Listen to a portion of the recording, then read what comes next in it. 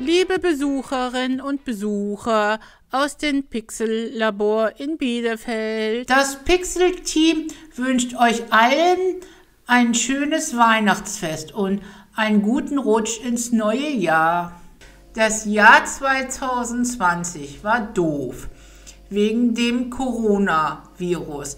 Wir konnten dann kein Pixelfrühstück mehr machen und kein Kursus mehr anbieten.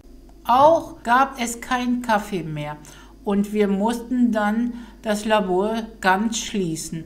Das hat uns allen sehr traurig gemacht. Wir konnten nicht einfach vorbeikommen. Kein Kaffee trinken und etwas schnacken. Das fehlt uns allen. Wir wünschen uns, dass es im nächsten Jahr alles besser wird.